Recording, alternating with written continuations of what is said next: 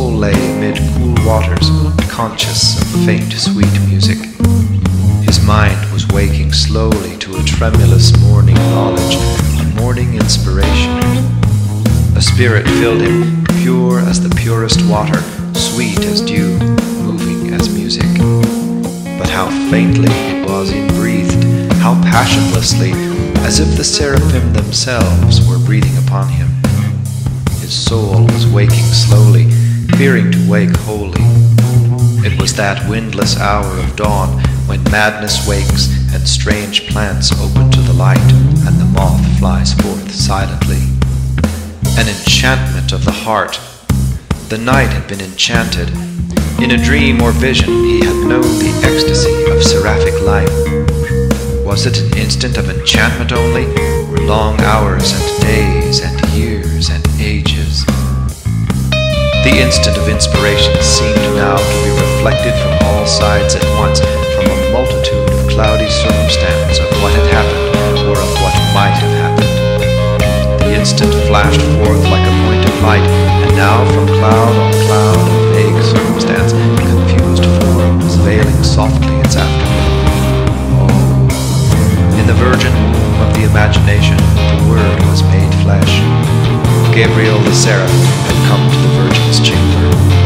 An afterglow deepened within his spirit, whence the white flame had passed, deepening to a rose and ardent light. That rose and ardent light was her strange, willful heart, strange that no man had known or would know, willful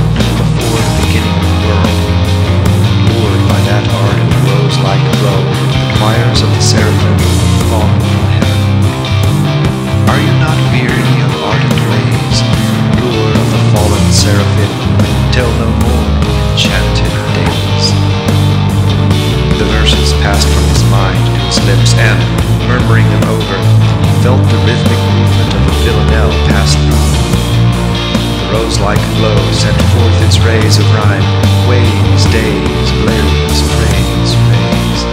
Its rays burned up the world, consumed the hearts of men and angels, the rays from the rose that was heart.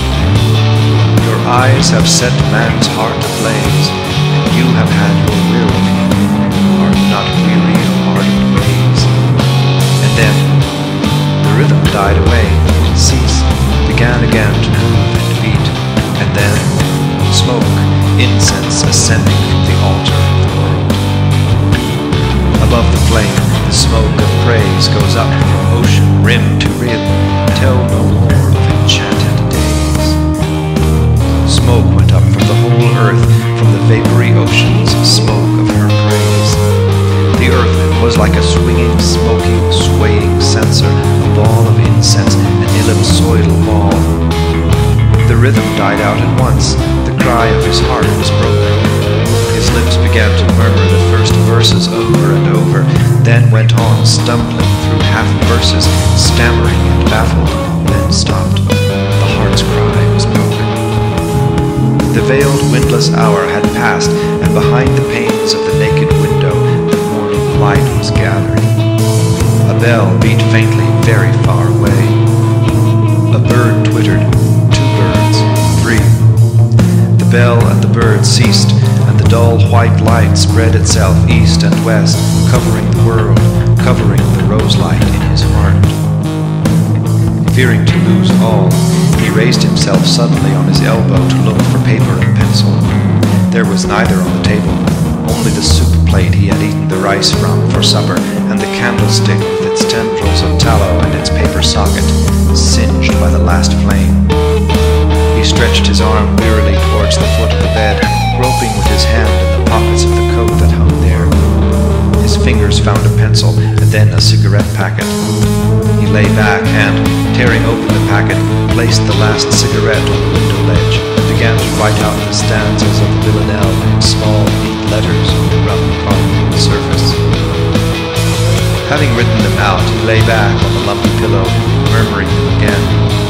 The lumps of knotted flock under his head reminded him of the lumps of knotted horsehair in the sofa of her parlor on which he used to sit, smiling or serious, asking himself why he had come, displeased with her and with himself, confounded by the print of the sacred heart above the untenanted sideboard.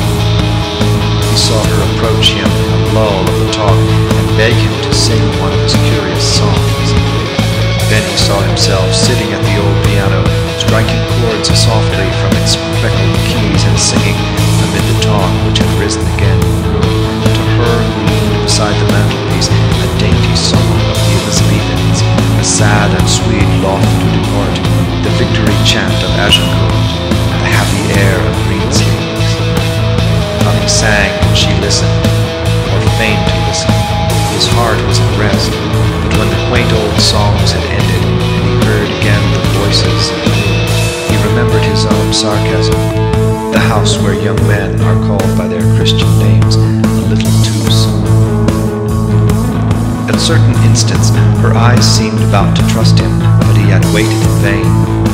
She passed now, dancing lightly across his memory, as she had been that night at the carnival ball, her white dress a little lifted, a white spray nodding in her hair.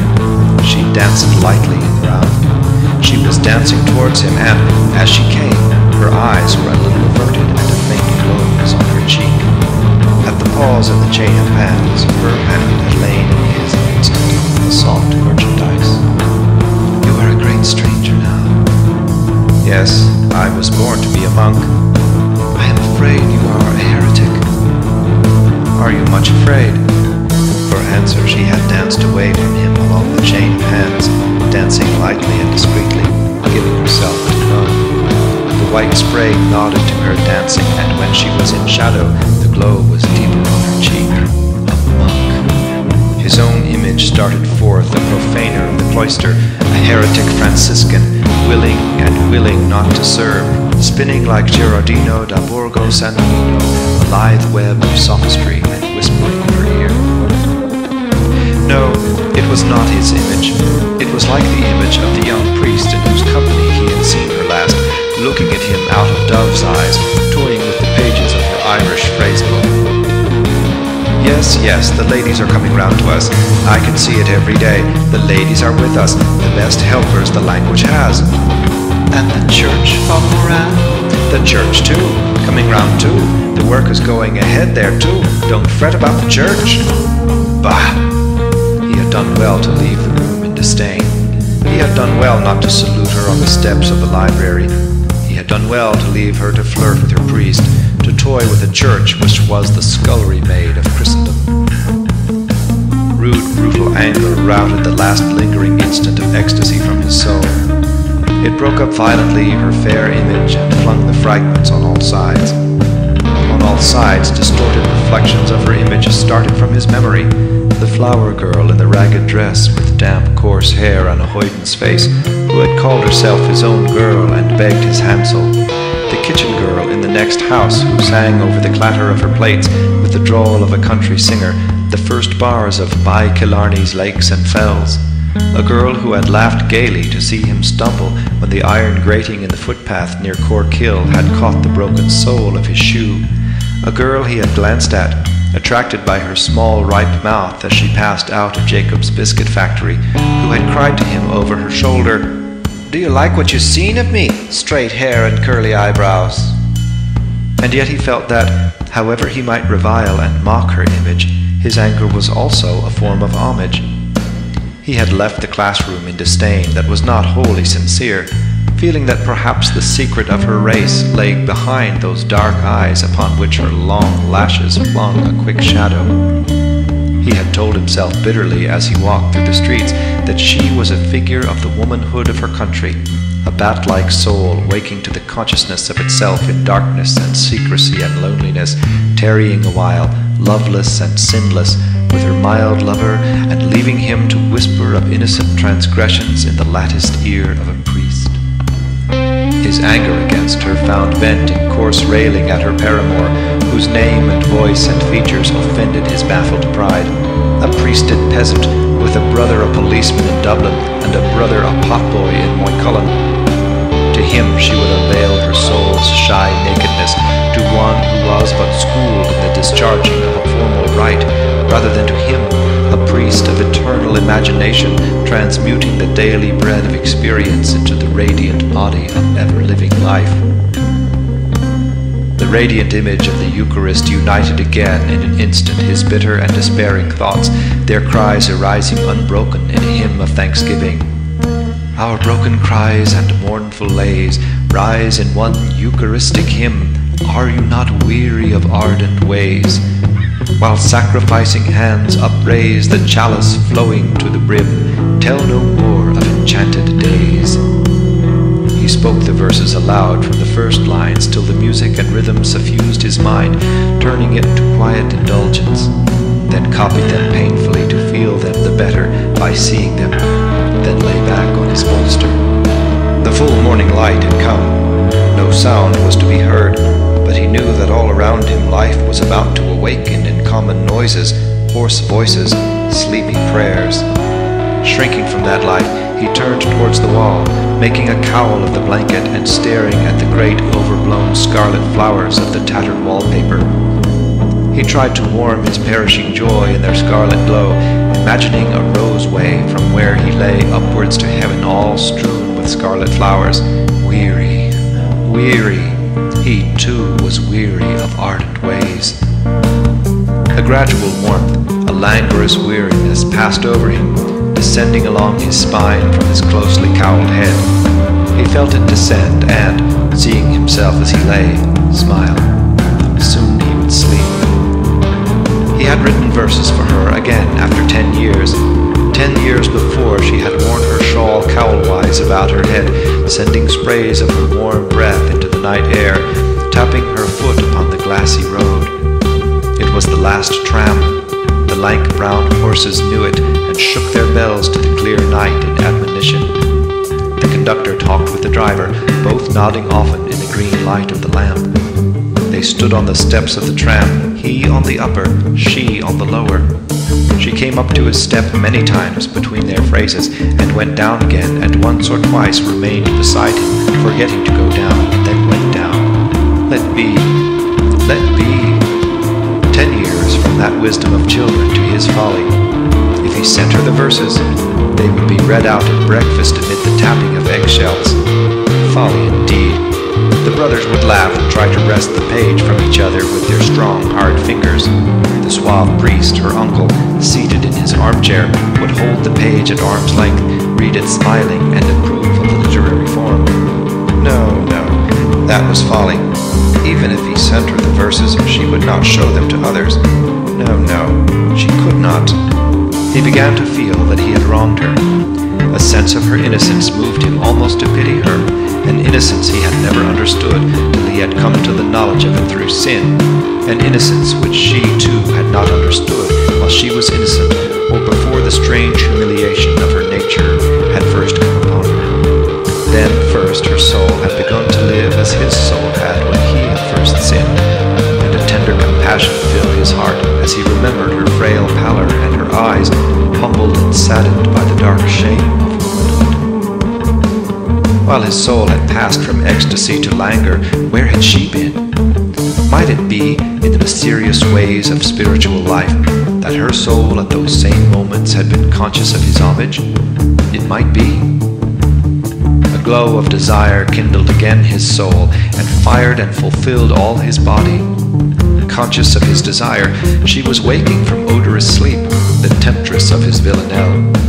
Her eyes, dark and with a look of languor, were opening to his eyes. Her nakedness yielded to him, radiant, warm, odorous and lavish limbed, enfolded him like a shining cloud, enfolded him like water with a liquid light. And like a cloud of vapor, or like waters circumfluent in space, the liquid letters of speech, symbols of the element of mystery, flowed forth over his brain. Are you not weary of ardent ways, lure of the fallen seraphim? Tell no more of enchanted days. Your eyes have set man's heart ablaze, and you have had your will of him. Above the flame, the smoke of praise goes up from ocean rim to rim. Tell no more of enchanted days. Our broken cries and mournful lays rise in one Eucharistic hymn. Are you not weary of ardent rays? While sacrificing hands upraise the chalice flowing to the brim, tell no more of enchanted days. And still you hold our longing gaze with languorous look and lavish limb. Are you not weary of ardent ways? Tell no more of enchanted days.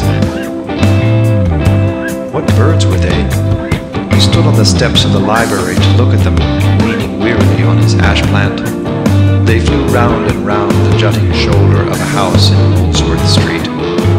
The air of the late March evening made clear their flight, their dark, darting, quivering bodies flying clearly against the sky as against a limp-hung cloth of smoky, tenuous blue. He watched their flight, bird after bird, a dark flash, a swerve, a flash again, a dart aside, a curve, a flutter of wings. He tried to count them before all their darting, quivering bodies passed six, ten, eleven, and wondered were they odd or even in number. Twelve, thirteen, wheeling down from the upper sky. They were flying high and low, but ever round and round in straight and curving lines, and ever flying from left to right, circling about a temple of air. He listened to the cries, like the squeak of mice behind the wainscot, a shrill twofold note. But the notes were long and shrill and whirring, unlike the cry of vermin, falling a third or a fourth, and trilled as the flying beaks clove the air. Their cry was shrill and clear and fine, and falling like threads of silken light unwound from whirring spools. The inhuman clamor soothed his ears, in which his mother's sobs and reproaches murmured insistently, and the dark, frail, quivering bodies wheeling and fluttering and swerving round an airy temple of the tenuous sky soothed his eyes, which still saw the image of his mother's face. Why was he gazing upwards from the steps of the porch, hearing their shrill twofold cry, watching their flight? For an augury of good or evil? A phrase of Cornelius Agrippa flew through his mind, and then there flew hither and thither shapeless thoughts from Swedenborg on the correspondence of birds to things of the intellect, and of how the creatures of the air have their knowledge and know their times and seasons, because they, unlike man, are in the order of their life and have not perverted that order by reason. For ages men had gazed upward as he was gazing at birds in flight. The colonnade above him made him think vaguely of an ancient temple, and the ash plant on which he leaned wearily of the curved stick of an augur. A sense of fear of the unknown moved in the heart of his weariness, a fear of symbols and portents, of the hawk-like man whose name he bore, soaring out of his captivity on osier-woven wings, of Thoth, the god of writers, writing tablet and bearing on his narrow ibis head the cusped moon. He smiled as he thought of the god's image, for it made him think of a bottle-nosed judge in a wig, putting commas into a document which he held at arm's length, and he knew that he would not have remembered the god's name, but that it was like an Irish oath. It was folly. But was it for this folly that he was about to leave forever the house of prayer and prudence into which he had been born, and the order of life out of which he had come? They came back with shrill cries over the jutting shoulder of the house, flying darkly against the fading air. What birds were they? He thought that they must be swallows who had come back from the south. Then he was to go away, for they were birds ever going and coming, building ever an unlasting home under the eaves of men's houses, and ever leaving the homes they had built to wander. Bend down your faces, Oona and Aleel. I gaze upon them as the swallow gazes upon the nest under the eave before he wander the loud waters.